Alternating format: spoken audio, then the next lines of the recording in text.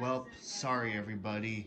My stupid effing camera glitched out before and I couldn't react to the end, but Larson won the race with new tires and SVG came up short. Well, we got Sonoma the next road course race, so yeah. At least I'm happy in a, in a way, so yeah. Not bad finish though.